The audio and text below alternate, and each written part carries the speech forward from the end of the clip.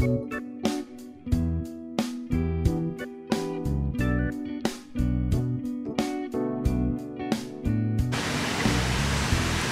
on the bank of the River Thames here in Weybridge. Weybridge is about 17 miles southwest of central London.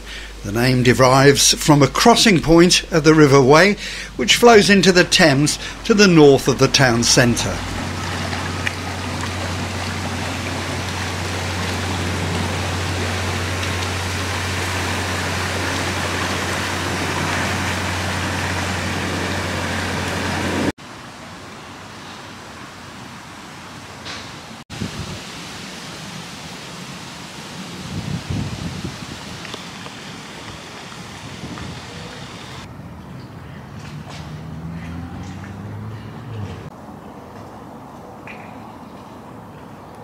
Gilbert and Sullivan opera impresario Richard D'Oyly Carte built this 13 bedroomed house by the Thames in the 1890s. Before the bridge was built, guests and residents had to haul themselves across on a chain ferry.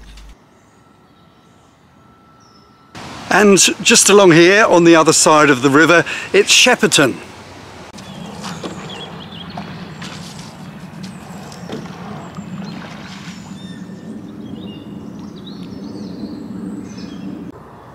You can summon a ferry from the Shepperton side of the river if you're not afraid of the spider on the bell.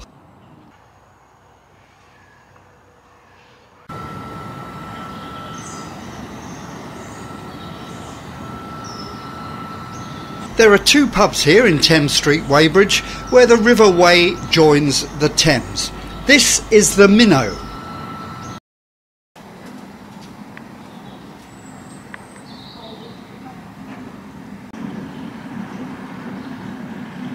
The Wey navigation was used for transporting barge loads of heavy goods to London timber, corn, flour, wood, and gunpowder from Chilworth Mills moved north along the canal and then down the river to London, while coal was brought back principally for gunpowder making and smithery. Other return cargoes included sugar and bark, which was used for tanning. Locks were installed and new canals dug in Weybridge to better connect with the Thames.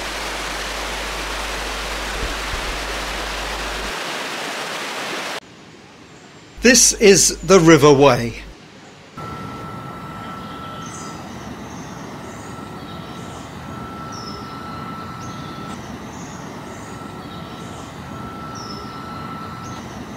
Crossing over the river and carrying the main road into Weybridge is the bridge built in 1945.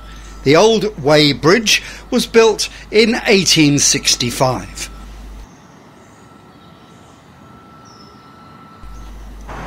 Church House Antiques in Weybridge has now closed, but it does have a story supposedly associated with John Lennon.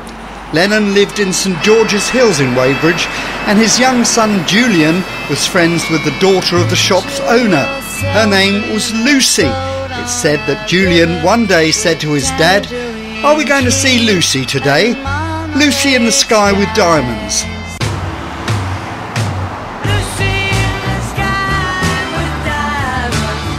Weybridge Hall was once the county cinema, opening in 1920 and closing in 1956.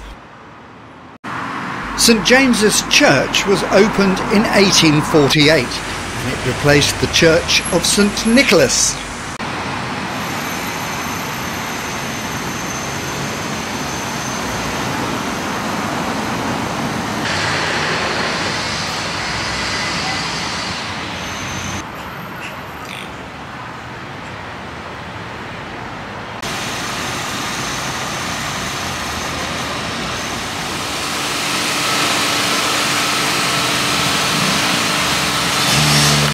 Weybridge is the home to community radio station Brooklands Radio, targeted at Surrey and parts of Hampshire.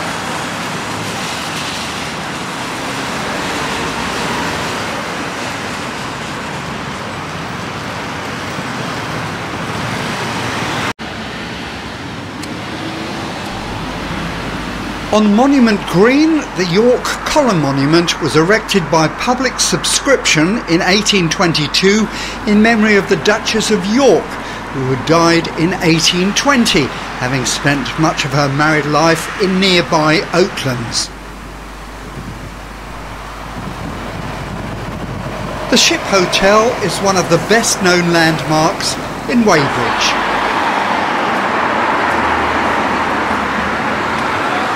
And that was Weybridge. Hope you enjoyed it. About a mile and a half up the road is Brooklands Museum with its collection of vintage cars, aircraft and buses. I'll see you next time. Let me know what you think of the video.